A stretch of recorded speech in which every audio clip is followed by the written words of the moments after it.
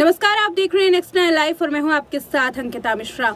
बॉबी देओल के करियर के बारे में तो सभी जानते हैं कि कैसा उनका करियर रहा।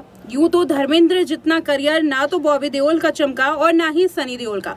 हाँ ये बात तो ज़रूर कही जा सकती है कि सनी देओल ने बॉबी देओल से कुछ ज़्यादा नाम कमाया। वहीं अगर बॉबी की बात करें तो बॉबी के हिस्से में ज़्यादातर फ्लॉप फ़िल्में गई हैं।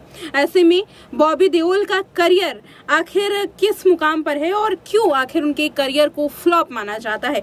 कौन है उनके करियर को फ्लॉप करने की असली वजह, उसके लिए देखिए report. Bobby Deol film Animal को लेकर के खूब चर्चाओं में है। उनके लुक की खूब तारीफ़ की जा रही है। इस फ़िल्म में बॉबी देओल खतरनाक विलन का किरदार निभा रही है। इसकी एक झलक एनिमल के टीजर और ट्रेलर दोनों में ही देखने के लिए मिल रही है। बॉबी देओल इस किरदार से काफ़ी पॉपुलैरिटी भी हासिल कर रही है।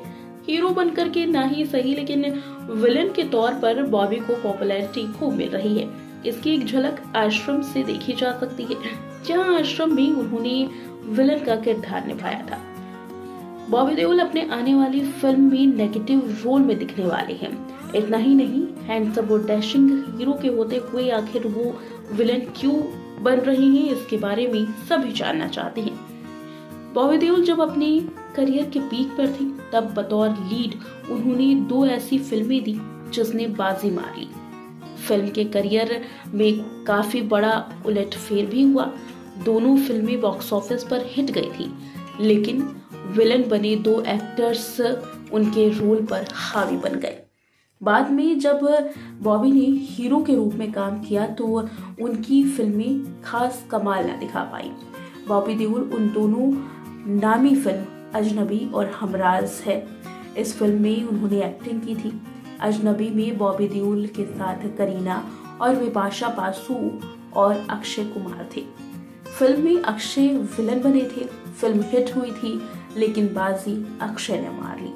इसके अलावा अगले साल साल 2002 में हमराज बड़े पर्दे पर आई इसमें अक्षय खन्ना विलन बने।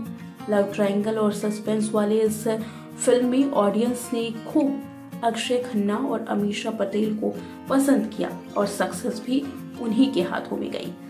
बॉबी देओल की ये दोनों फ़िल्में हिट गई, लेकिन इसके बाद अपने को छोड़ करके उनकी कोई भी फ़िल्म नहीं चली।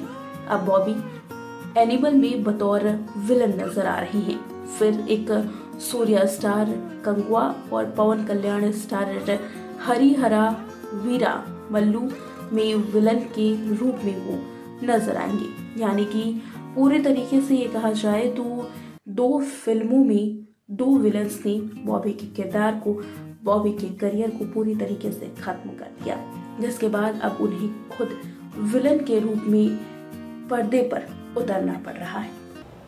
तो देखा इस रिपोर्ट में कि कैसे उनके करियर को फ्लॉप करने की वजह, उनके एक रोल को मानी जाती है। हालाँकि बॉबी की बात करें तो बॉबी अब ओटीटी पर जितना अच्छा प्रदर्शन कर रहे हैं, शायद फ़िल्मों में उतना अच्छा ना कर पाए। लेकिन ओटीटी में उन्होंने बखूबी अपने रोल को आजमाया है। वो एक ऐसे किरदार में ढल जाते हैं जहाँ मुश्किल से मुश्किल काम उनके लिए आसान हो जाता है। फ़िलहाल अगर बात करें बॉबी देओल की फ़िल्म की तो एनिमल अब जल्द ही इंटरटेन करने के लिए आने वाली है और एनिमल में जिस तरीके का किरदार बॉबी देओल का है, उसे भी खूंखार माना जा रहा है। अब देखना यह है कि बॉबी को इस फ़िल्म से कितना अच्छा रिस्पॉन्स मिलता है। फ़िलहाल इस वीडियो में इतना ही, देखते रहे नेक्स्ट टाइम लाइव